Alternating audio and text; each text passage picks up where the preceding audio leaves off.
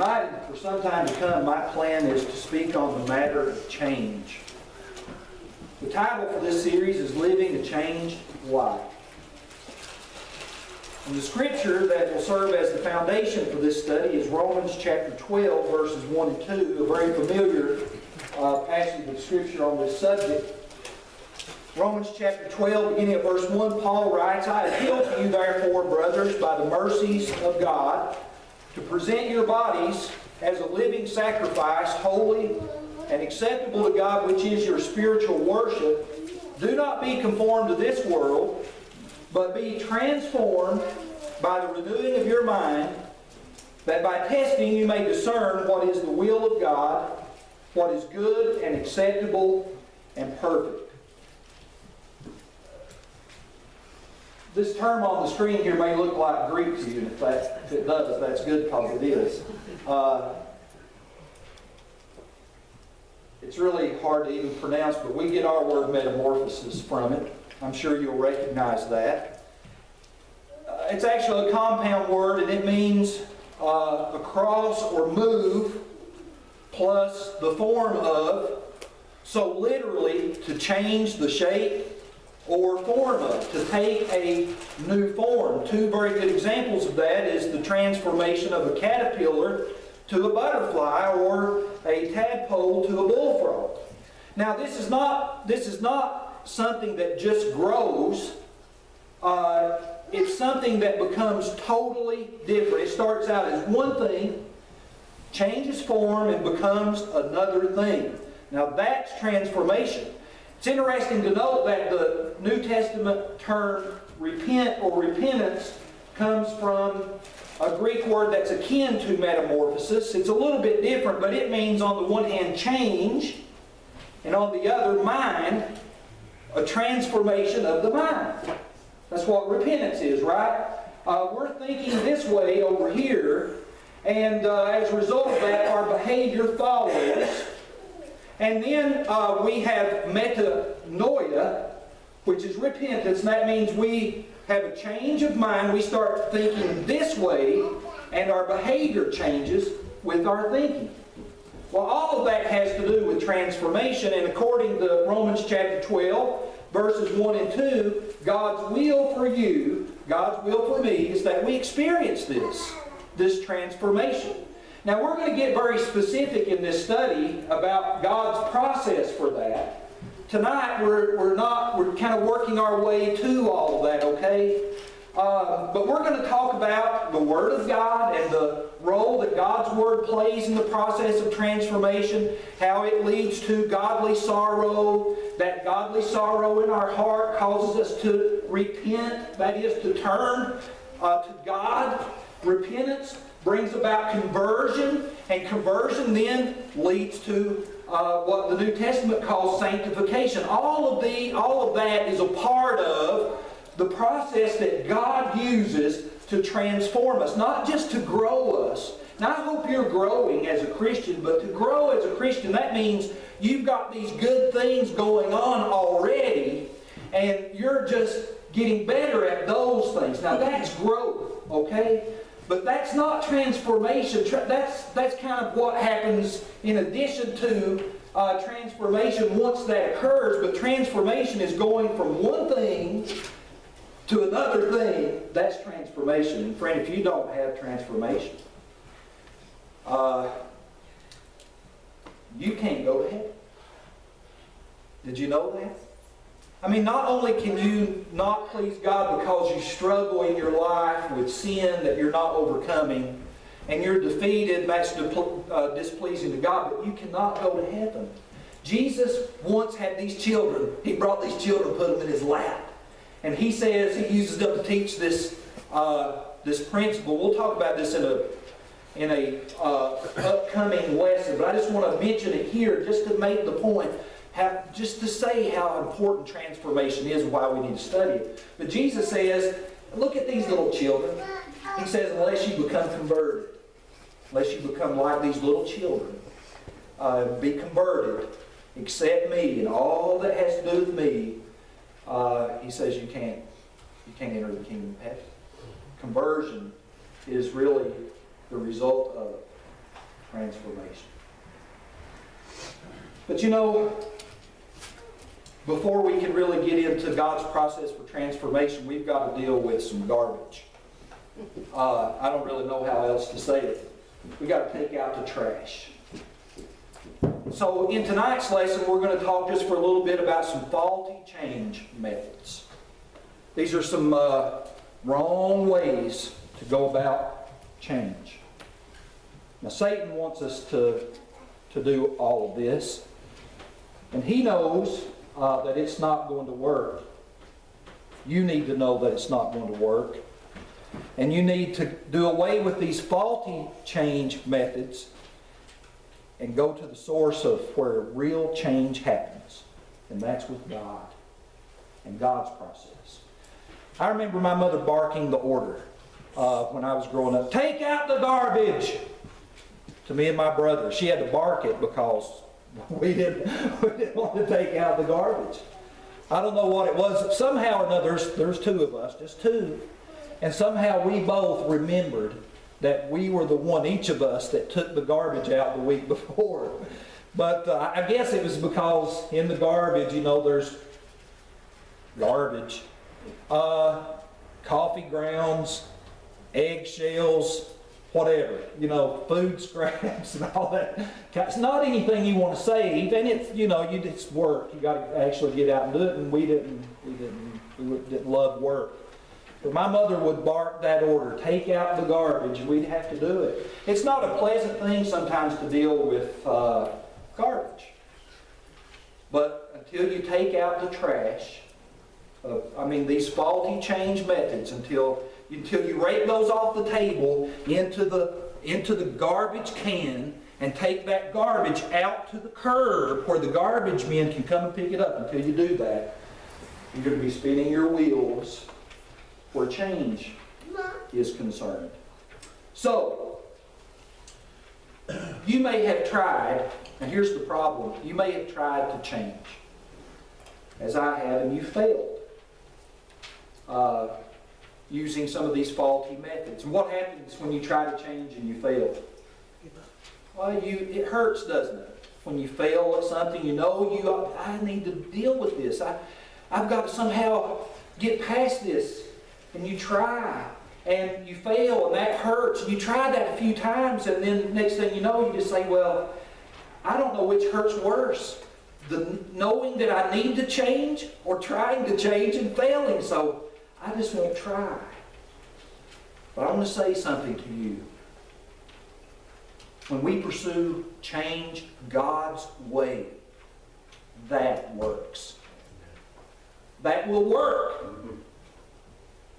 If you've tried to change and you failed, it's because you have tried to change according to the methods of the world, unbiblical methods. That's the garbage that we need to take out. Faulty change methods. We need to uncover the faulty change methods, and then we need to sweep them into the garbage, and we need to take them out once and for all and focus exclusively on God's program for change.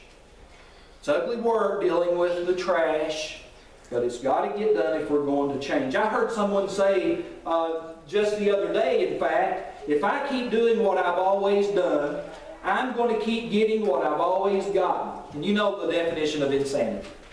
To keep doing the same thing expecting a different result. Well, that's, that's insanity. Now we're going to look at some faulty uh, change methods that you might would consider uh, psychological change methods. And we're going to look at some that might actually be considered spiritual change methods, but there's fault in them. And I want to say this though before we get started because somebody's going to leave here saying I'm crazy probably. They're going to say, I disagree. And that's okay, disagree. Uh, if you feel like you need to go home and study it, come back, we'll talk about it. Uh, I want you to understand that I'm not saying that there's no truth in these methods. I'm not going to say that. There's some truth in these methods. That's the problem. You know how it is with a lie? I mean, a lie that really takes hold and people start buying into it. What's the problem with that lie? the, the little bit of truth that's in it, right? So I'm not going to I'm not going to say here's a faulty change method. It's absolutely wrong from top to bottom. I'm not going to say that. I'm going to say there's some truth in that, and maybe there's some Bible truth in that, but there's enough fault in it to put it in the garbage. Okay, you know what I'm saying? All right, let's look at some faulty change methods. Number one, the environmental change uh, method. Uh, that's very popular. In fact, it was made popular by John Watson and later by B.F. Skinner. And if you've studied uh, psychology, you've heard those names. We had to study that pretty hard in my nursing classes in college. You'll recognize this concept as behaviorism.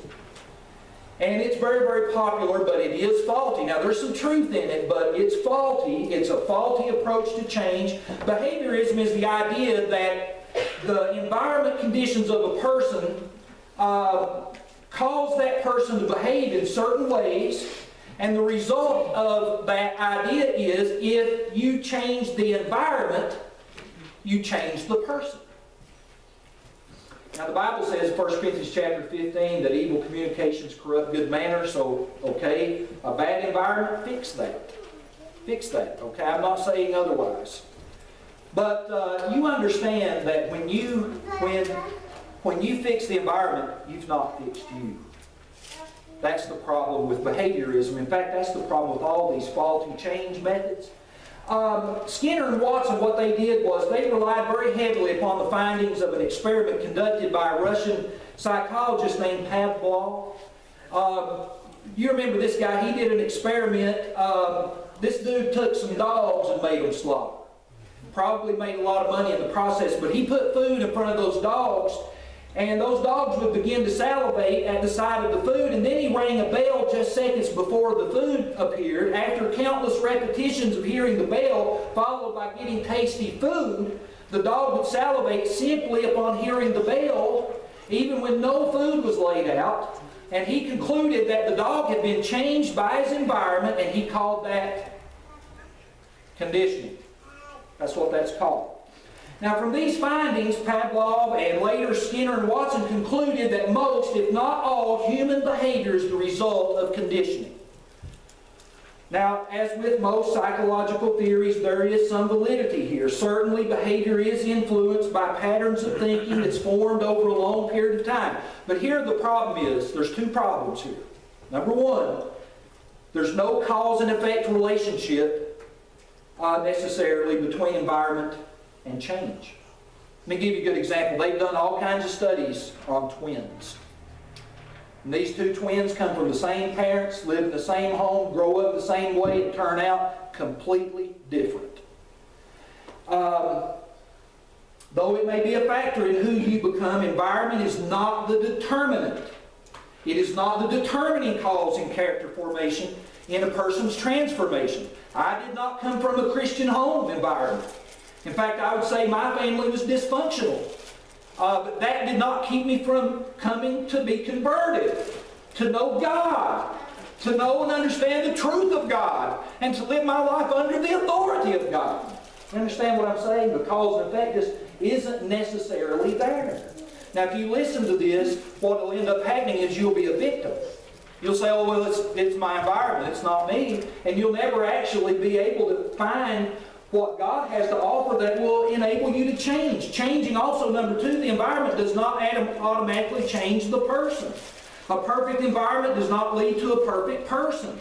That's true. We see that in the Bible with Adam and Eve. They were in a perfect environment. What did they do? They chose to disobey God and to sin against God. So, so environment does not absolutely control who I am or what I become. Now again, there's some truth in that. If you, if you are being influenced negatively by people who are sinning, people that are living uh, in rebellion against God, you might want to consider getting out of that environment.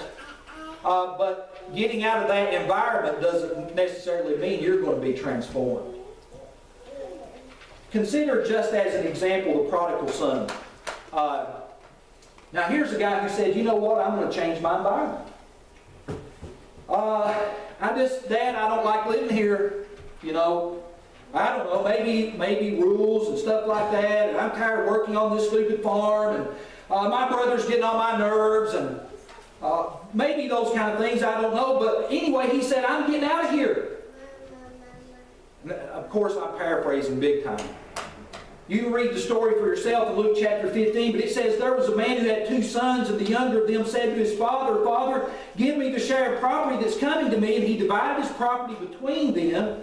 Not many days later, the younger son gathered all he had, took a journey into a far country, and there he squandered his property in reckless living. And when he had spent everything, a severe famine arose in the country, and he began to be in need. That's verses 11 through 14. Now, he finally found a job, uh, I suppose, working on a farm, and there he ended up feeding the pigs and wanting to eat the, the food that the pigs were eating. Verses 17 and 18 report that he came to himself, and when he came to himself, that means uh, uh, he realized something. He came to himself, and this is what he said How many of my father's hired servants have more food than enough? Uh, but I perish here with hunger. I'll arise and go to my father, and I'll say to him, Father, I've sinned against heaven and before you. Now, here's the point. He thought his environment was the problem. His family, the way he was brought up, the lifestyle that he was being subjected to, so he took off and got a new environment. The Bible says when he came to himself, he figured out that the environment wasn't the problem, he was the problem. Now, Satan wants you to think that everything's the problem except the problem. And the problem, I'm telling you, is you. I'm so mean. But when you figure that out, you're on your way. You're on your way. I'm the problem. Uh, how many of you have heard of Amy Winehouse? She is such an awesome example of the point I'm making. Just she's a recent example of it. Uh, she's famous. She had like a 10 year stretch there where she was just, everybody was hearing about Amy Winehouse. She had success, and there was an exclamation point with drugs and alcohol. Her life was a mess. The song that she's noted for is uh, entitled Rehab. Have you heard that song? No, no, no. She said, No rehab for me. But you know, the truth is, she'd been into rehab many times. And what she's saying in that song is, many believe, is that sh- what she understood was, I can keep going into rehab, and I can go into rehab, and go into rehab, and go into rehab. Like, you know, a lot of these celebrities, they have, it's a revolving door policy. They're just coming in and out and in and out with drug abuse and alcohol addiction. And they're just hoping that sooner or later one of those visits is going to do it, that it's going to stick and they're going to be able to change and be transformed. But Amy Winehouse, she realized rehab's never going to help me until something happens to me she said, I'll not go back to rehab. She was so discouraged she couldn't find the answer that she just gave way to her reckless living and she just drove herself to death with alcohol. She just gave up. Her tragic end is a warning to all of us of the destructive ends of sin if it is not resolved by the Redeemer. If God doesn't fix us, if we do not let God fix us, we're not going to get fixed. Our problem is inside of us, not around us necessarily. We are the ones who need to change, not our environment. Behaviorism is deceptive. It's just like a window dressing. It does not work. Put that in the trash. That's what I'm saying. Number two, digging up my past. That's a popular notion today. We hear a lot about that. Uh, I am what I am because of my past. The psychological theory that seeks to remedy our problems from the past is psychoanalysis. Do you know who's, uh, who's behind that? Sigmund Freud, that's right. He developed that well over a hundred years ago. Man, it stuck like glue.